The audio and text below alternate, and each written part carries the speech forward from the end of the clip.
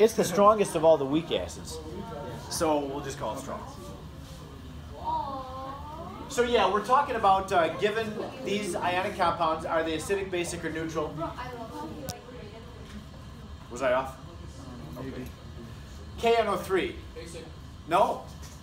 That means NO3 would be able to accept a hydrogen. No. It's the conjugate of a strong acid. HNO3 is a strong acid, therefore NO3 is neutral. Oh wait, yeah, I meant to say neutral. Oh, sure. No, no, because it's a dry acid. Because Okay. For the same reason the chloride is neutral, the nitrate ion is from HNO3. HNO3 is a strong acid, therefore nitrate ion is neutral. Nitrate ion is not able to accept a hydrogen.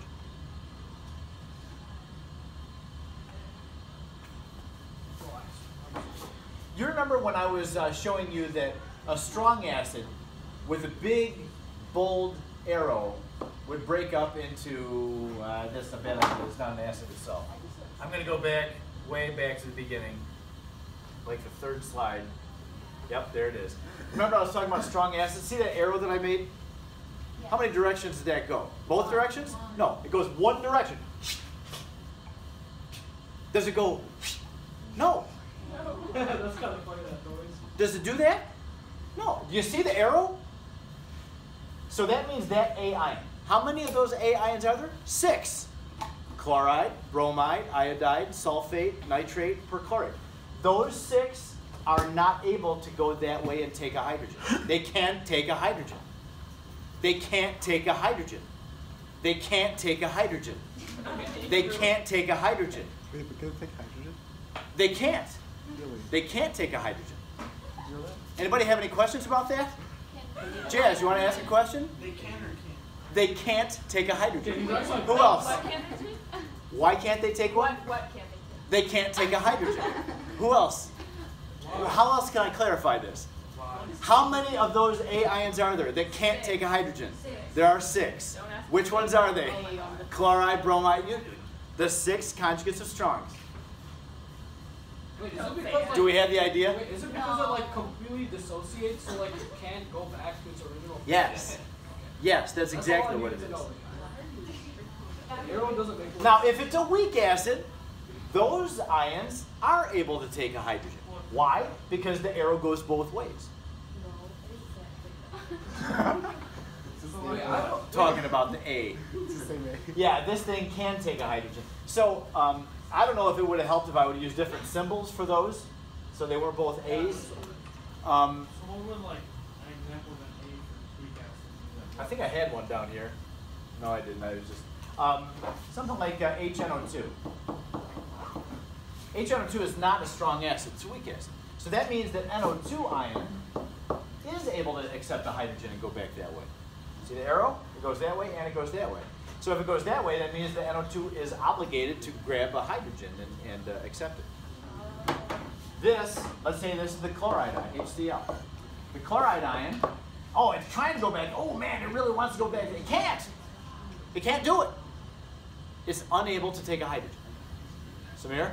Wait, if it was like NH3, so like NH3 can take it, take it can take a hydrogen, right? Yeah, there would be the NH3. This is NH3 right there. So it would be NH3 plus H2O. Yeah. And then it would break up into O. It would take a, a hydrogen off of the water. That's its job as a base. Why? Because that N has a lone pair on it. It's a little negative cloud. It really likes hydrogen ions. Um, that positive hydrogen ion would go on it. So that would make NH4 plus, and just as the pattern shows, it gains not just a hydrogen, but a positive hydrogen ion. So not only does the formula change, the charge changes as well. It goes up by one charge. Yep, and then the water, which lost the hydrogen, is now the hydroxide. Yep, I'm glad we had this little talk. So let's go back. I think it's type 18. No, I went too far. Okay, so ignore this because this is not HNO3. The water was neutral. The NaCl, remember, sodium is neutral because it can't offer a hydrogen. It's not acidic. It's not going to take a hydrogen because it's positive and hydrogens are positive. The chloride ion, what about the chloride? It's unable to take a hydrogen. So it's neutral. That's why I had said that uh, they're both conjugates of strong. HCl is a conjugate of a strong acid, therefore it's unable to take a hydrogen. The NO3 ion is in the same situation as the chloride ion. It can't because it's the conjugate of a strong acid. The NO2 can, right? Yes, NO2 can. Na is neutral. Right. So this is neutral. The NO2 ion is basic. Therefore, the solution would be basic. You put sodium nitrite into water, and you don't expect anything to happen. You just see the pH go up. The pH go higher than seven because that means it's a base. Wait, that one is, uh, is the next one acidic? Yes. Why? You can give off an H plus and become an H. Right. Yeah. Yeah. Oh, The NH4 has an extra hydrogen on it that when it dissolves, it can give off. How can we do this before the What? meeting? Oh man, should have told me be that. so helpful. Actually, I should have done another Yeah, the last one. Um, you have to recognize that um, amine compounds are nitrogen compounds. Typically, uh, organic compounds that have nitrogen, they're neutral. But this, this nitrogen thing, nitrogen quantity, is a polyatomic ion. How do we know that? Because this is an ionic compound. All these are ionic compounds. So if the NH4 it has a positive one charge, that means that if it loses uh, a hydrogen ion, it will go to neutral. So it's a nitrogen compound after it has gained a hydrogen. That makes it a conjugate acid of that nitrogen compound. So being a an acid, uh, it would make the solution acidic. Because the chloride ion is neutral for the same reason that chloride ion was neutral. Yeah? Now that we have that down, when we do questions like this, Okay. Now, what are we going to get? Is it going to be a pH higher than 7 or lower than 7? We'll have to calculate it, but what's it going to be? Is it going to be higher or lower than 7? isn't it basic? It basic? It It is basic. The sodium ion is neutral. The cyanide ion, though, is a conjugate base of a weak acid. So it is able to accept a hydrogen. So it's going to be basic. Is HCN anything? Yes. It's a weak acid. In order to, to determine the uh, pH of this solution, you'd have to write a chemical equation. Now keep in mind that when sodium cyanide dissolves, it is a soluble compound because sodium is soluble with everything. So the sodium and the cyanide ion break apart. The sodium does nothing. I don't want to see sodium in your chemical equation. It's a spectator ion. It's neutral, so it doesn't do anything. The cyanide ion, however, does something. It's a base. Would you write the chemical equation for what happens when you put the cyanide ion into water? Cyanide is a reactant. Go ahead and move your pencil. Cyanide. What is the job of a base? To get To accept a hydrogen ion. Where does it get it from? Can it get it from the sodium? No. Water. It gets it from the water. So I need to see water in your reactants. And so knowing what the job of that cyanide ion base is, you should be able to write what the products are too. It causes the sodium to turn into a uh, amino and give away a proton. If sodium could.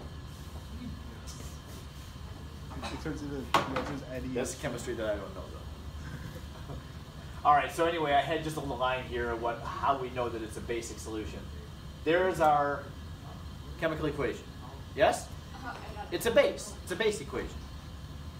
It's accepting a hydrogen. From where? From water. We know what the initial concentration is, so we can write a, an ice table. But if we want to solve for uh, a concentration and then determine the pH, we need the K. This is a base, so we need the KB of it.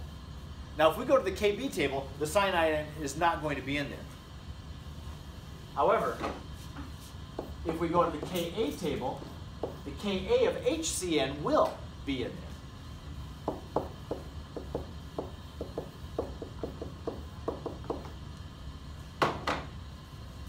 The Ka of HCN is 6.2 times 10 to the negative 10th. Would you be able to determine the Kb of the cyanide ion? Yeah. Yes, from this thing right here. That is what I even have that down here. Any acid's Ka times its conjugate basis, Kb, equals Kw.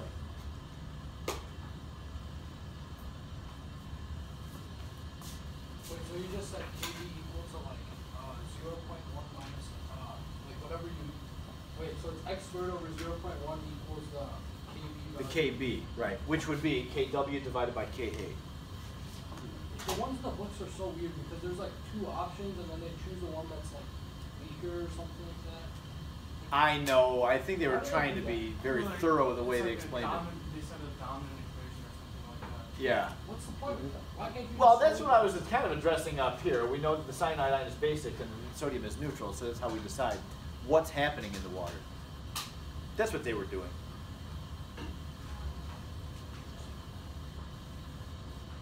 I find it a little bit annoying that they kept mentioning water. You know that water's neutral; it's not going to do anything, but they just they they mention it every time.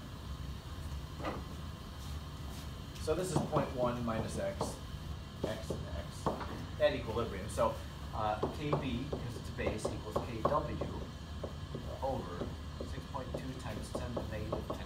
We all know what Kw is, right? Its value? 10 to the negative 14? That's equal to x squared over 0.1 minus x.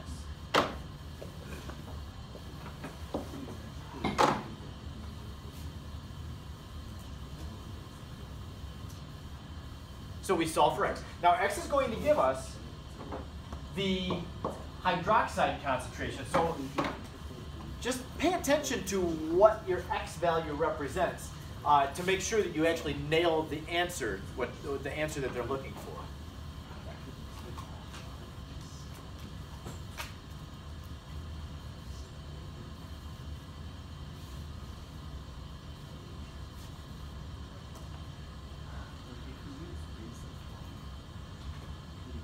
Yes? Wait, you know how it says give the pH of the NaCN solution? So if we just found the, uh, wait, like how do we, like when, when we're calculating the negative log, what do we take, what, what value do we take? Do we just take it out of x or? Yeah, well, the x value is the hydroxide concentration. So when you take the negative log of it, that's the POH, and then you subtract it from 14 to get the pH. The question is asking what's the pH of this thing? But it produces hydroxide ions. Yeah, minus ten. right. But no, but, so how is that related to NaCN, right? Like, you wanna get it of NaCN, but you're calculating it. Yeah, but there's the CN. The sodium's not doing anything. The sodium's just there and doing nothing. Sodium is so uninteresting. It doesn't do any precipitating. It doesn't do any uh, pH altering. It's just, it's a bummer. It would be bad to be sodium. And the mercury doesn't do any precipitating either. Yes, it does.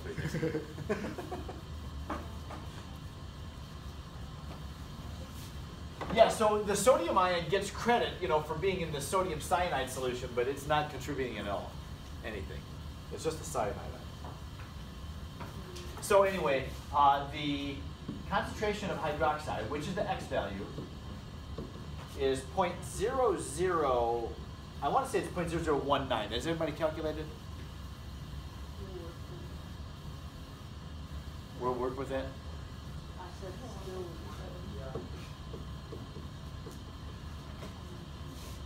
So when we know the hydroxide concentration, we find the POH. Um, I do remember the POH is 2.90. And therefore, the pH, 14 minus that, is 11.10. That's our answer. This can be both. Hmm?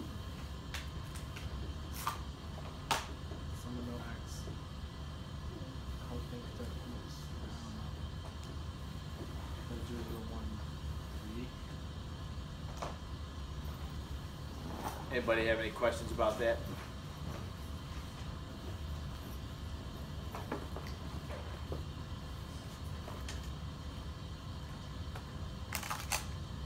So we seem to be doing the same thing every time with, with like the problems we did on Thursday and Friday.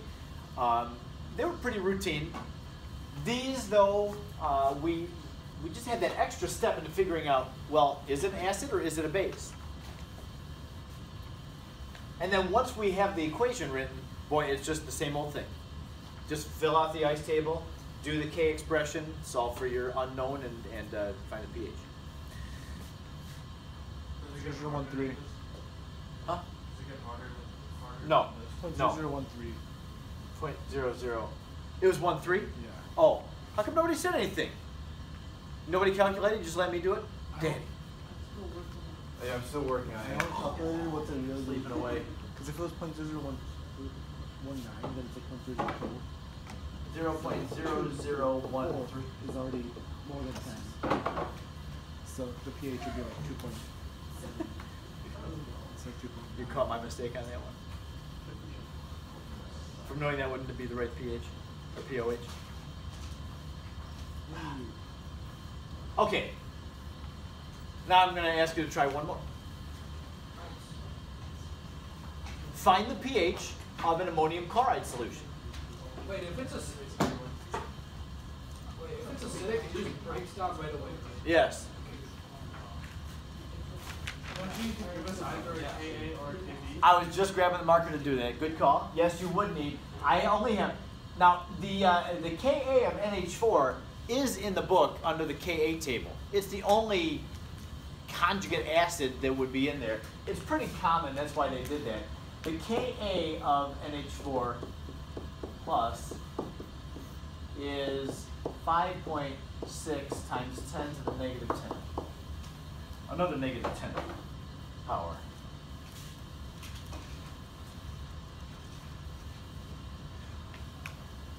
Would you see if you can do the whole thing?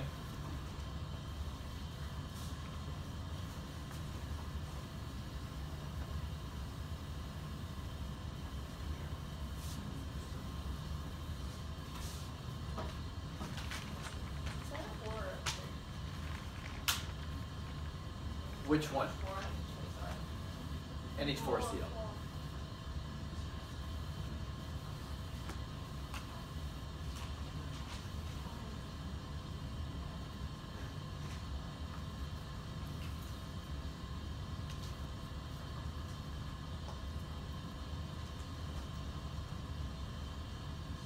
There's just one really hard question that I didn't get straight. No, I'm just saying. I mean, What number? I think it was 72. It was like about the first thing it says is like this weird name that like starts with a P. It's like Coke and stuff. I also really hard I'll question. you. is Yeah. the Either real 72 or Facebook 72. is- This is a hard geoform I did like- You started in the middle somewhere. I started from the beginning to like. Wait, could we have done all the problems? Oh yeah, I mean we're just down. You have these and then polyprotic acids, which there's not very many of those. I think you could do them all tonight.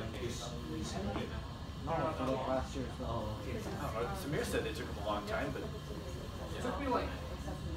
most of them should go pretty fast. You can do the same thing for much every time. This is like After that, I don't know. Yeah. I don't Like get that's the for first step at PHO. all. Hopefully I'll make it future. It's an ionic compound, so when you put it in water, it breaks into its ions. That is, oops, I didn't draw it very straight.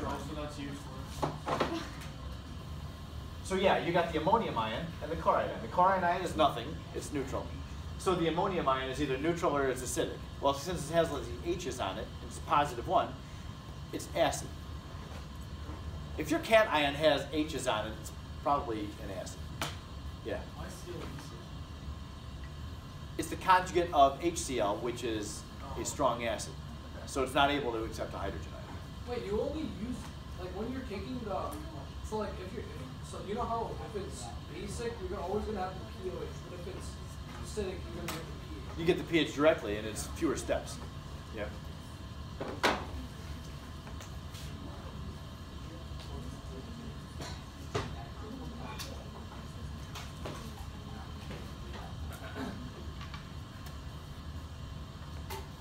It's okay.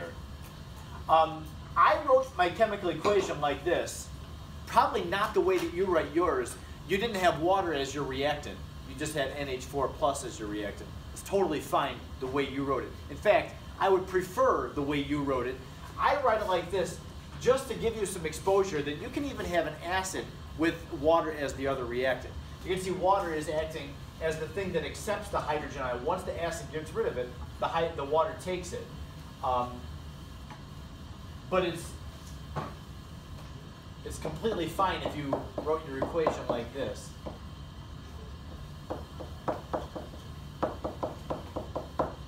Just know that H plus and H3O plus are the same thing.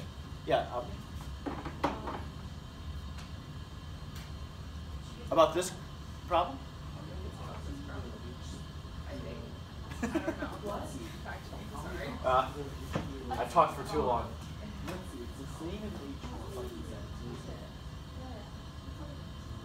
Wait, the formula is just NH4Cl yields NH4 plus plus Cl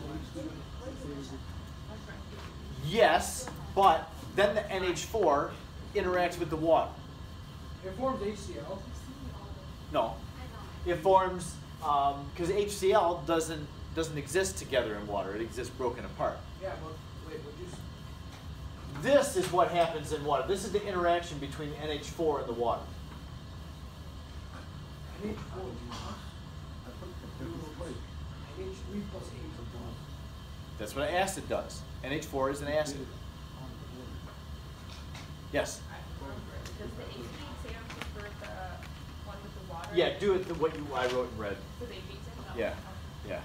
I think I've seen this on the AP exam before, but if you write this, it's totally fine. I've seen them write this like on answer keys and all that. It's fine. Did I do something wrong? Low battery. There's a Oh, thing, no, but I thank you, thought it okay. was like. Makes no sense. Yeah, I don't get it at all. Wait, because I thought I Oh, read- man. I thought I read that. No, the first part, I don't get how you got the equation. Yeah. The fact that this is a conjugate acid of a base. Ammonia is a base. Uh, yeah, It's NH3.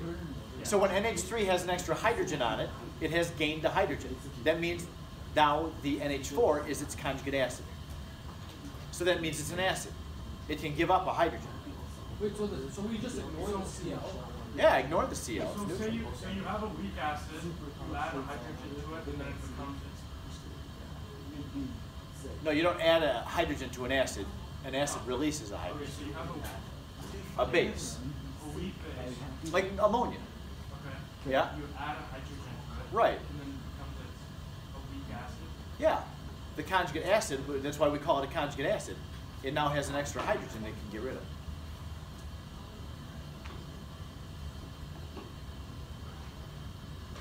Yeah? This is probably like a dumb thing to say, but like, even if you wrote the equation wrong, you would still get the correct pH.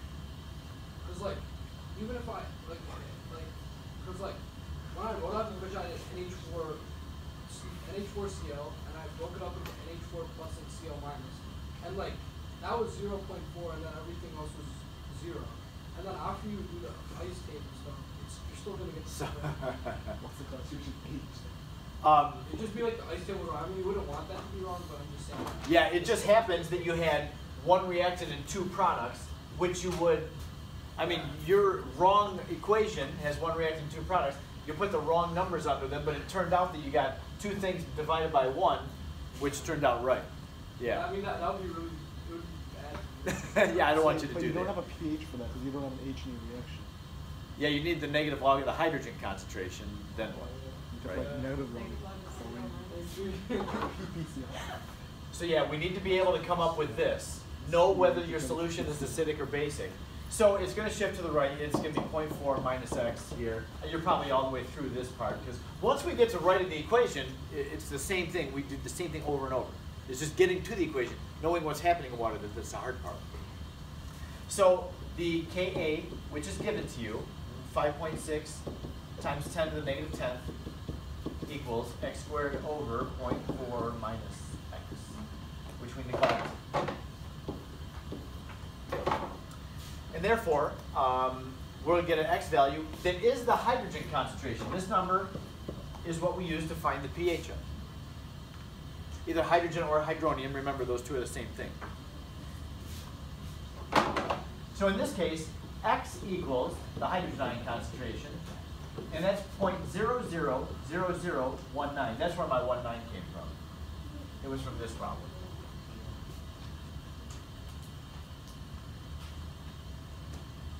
It's 1.9 times 10 to the negative fifth. So the pH is 4 point, can't remember. Eight? 4.8. They go to 26 weeks, no, they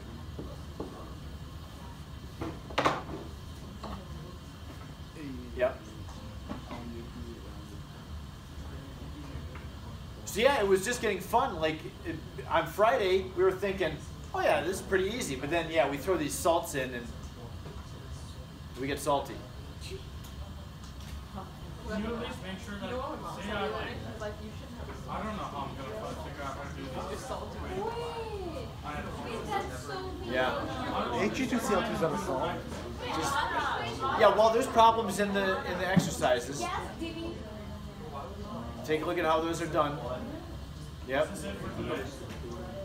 No, I got one other thing. Only because, let me have your attention, please. I want to show you what the last thing is in the uh, chapter. It's very short. Uh, I will continue it tomorrow, but I'm not going to take long at all tomorrow. Uh, I want to just go over an example or two with you. And the last thing is, um, just because tomorrow's the last day before the quiz, I want to oops, introduce um, diprotic and triprotic acids. When you have, um, we, we call them polyprotic, the, the middle of the word prot represents proton, which is a hydrogen ion. So polyprotic acids have more than one hydrogen, like H2SO4 or H2SO3 or H3PO4.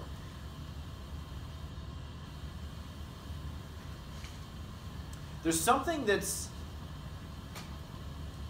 peculiar about the polyprotic acids. And this is, um, this is true for all polyprotic acids, not just a few of them, but uh, it's pretty universal.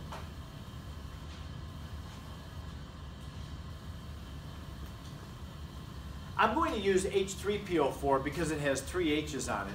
Uh, and I want to, um, I want to show you what the three H's coming off look like it's not a big surprise. You're not going to look at it and say, wow, I never expected that. I mean, it's, it's exactly what you would expect. Do know that the three H's don't come off with equal strength. The first H comes off strongest, always.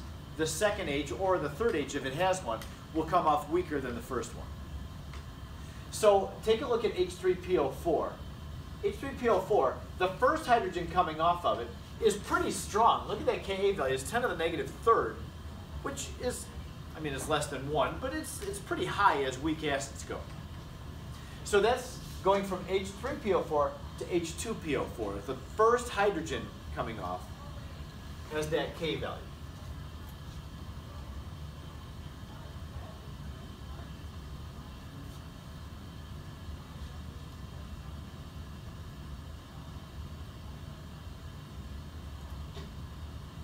Now the H2PO4 still has two H's that can come off. The second one is going to come off next. They just come off one by one. And look at the difference in the K values. To go from Ka1 to Ka2 is a difference of about 100,000 times. So it's 100,000 times more difficult to take the second K, or a second hydrogen off.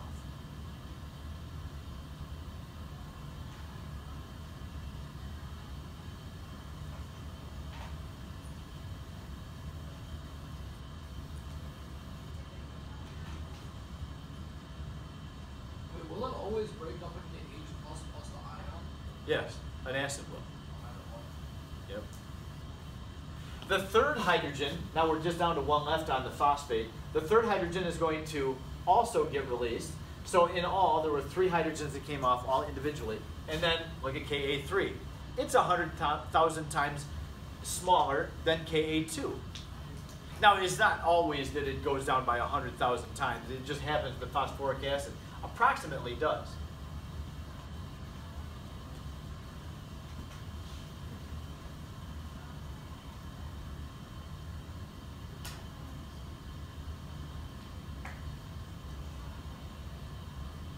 Okay, here, here's now the good part about polyprotic acid. If I give you a problem and I, I, I say, okay, here's a solution of a, uh, a diprotic or a triprotic acid, what is the pH? When the first step happens, it's going to produce a healthy amount of hydrogen ion. The second step is going to produce a minuscule amount of hydrogen. And the third step, it's, there's not even a word small enough. It's going to be a tiny little concentration of hydrogen. So really, the only step that's significant for coming up with hydrogen ions is the first step. So the part that's written in red down here, I want you to write down and highlight it or put a box around it in your notes. For all polyprotic acids, anytime you need the pH of a polyprotic acid, just use the first step with the first Ka. You don't even have to pay attention to any steps afterward if you need the pH, just the first.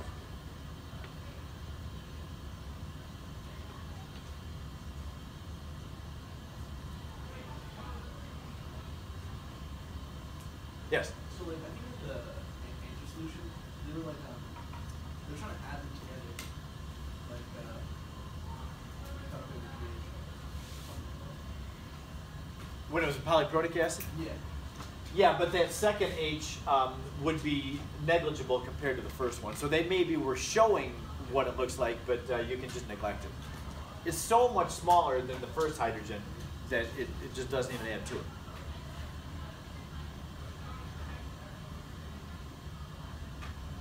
Okay, so that takes care of today. Tomorrow I want to give you an example or two with a ditriprotic acid and ask you to calculate the pH so we can see how it's done. Uh, I do want you to know that number 110 in the exercises you don't have to do. Uh, I'm not going to ask about that on the quiz. Um, I think the question is confusing, the answer is confusing for it, so we just won't do that. What answers are confusing? Yeah, I know. I Solution guys is so I have to take it off our list. What? What's that? There's, there's actually a lot of problems for this one.